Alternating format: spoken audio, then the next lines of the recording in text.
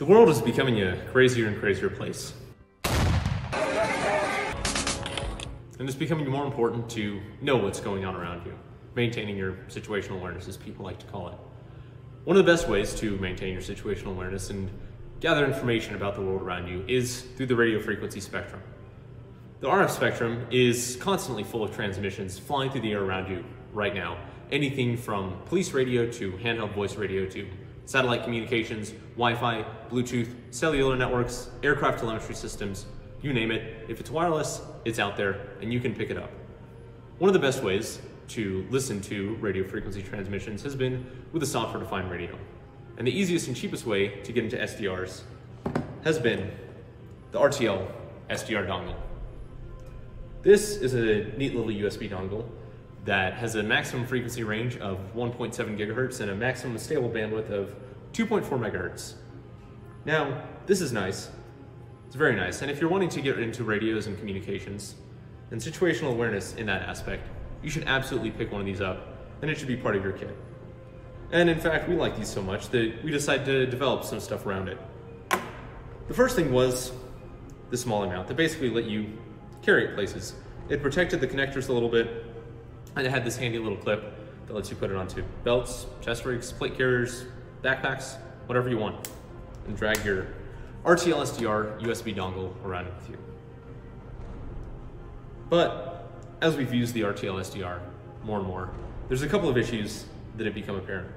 The first one, first and foremost, as we mentioned, is durability. This is meant to be a USB dongle. It's meant to be plugged into a computer with an SMA cable or an antenna plugged in on the other end. Just kind of sit there on your desk comfortably. It's not meant to be used outdoors. Even with this case, the connectors are still flimsy, not waterproof, not water resistant, and just not a great outdoor option. The second one is that maximum 2.4 megahertz stable bandwidth. Now, that 2.4 megahertz is nothing to scoff at, specifically when compared to your traditional, more hardware-defined radios. But when compared to other software-defined radios, even something as simple as the HackRF, it does leave a little bit to be desired. And the third issue is software. Well, there's a decent amount of software-defined radio software out there, specifically for the RTL SDR dongle, some of it is most certainly lacking, specifically software-defined radio software for Android. There's not a lot, there's not a lot of options, and there's not a lot that you can currently do with it. These three issues have been on the forefront of my mind for quite a while. So we decided we're going to build a product that solves all of them. This is the SDR stick.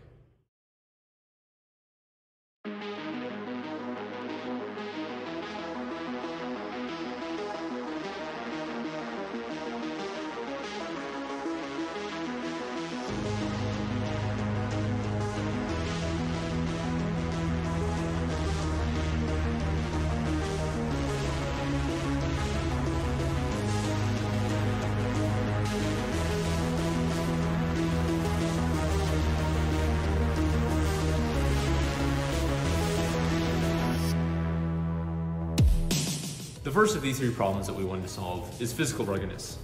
The SDR stick is made from an extruded aluminum enclosure with a custom MJF end cap to accommodate all of the connectors. It has water-resistant gaskets on all ends and on all connectors, and is generally speaking much more rugged and durable than your standard RTL SDR dongle. The second problem that we wanted to solve is the bandwidth limitation. Now you might see that there's two antennas on this, and that's because there's two RTL SDRs inside of the SDR stick. In fact, what the SDR stick is, is a ruggedized USB hub that's specifically designed to be able to hold two RTL SDR dongles. When you get yours in the mail, and I hope you do, you can unscrew the two connectors and the nut from your SDR, pull it out, plug it into the provided USB port inside of the SDR stick, connect the connectors for the end cap, plug it in, and you're good to go. Now, the reason that there are two RTL SDRs is because, well, two is better than one, but this truly is a system that's greater than the sum of its parts. Well, the first thing that comes to mind as far as bandwidth limitations and adding a second SDR is, oh, well, I can just see twice the bandwidth. Yes, and while that is true, there's actually a lot more capabilities that this provides you, more than just being able to see more bandwidth.